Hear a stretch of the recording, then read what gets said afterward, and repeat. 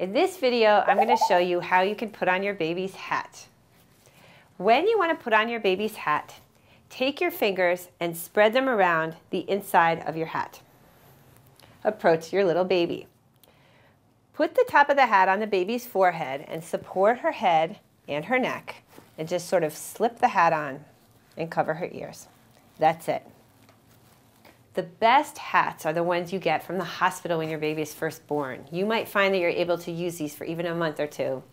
And at that point, you should put them in your baby's keepsake box.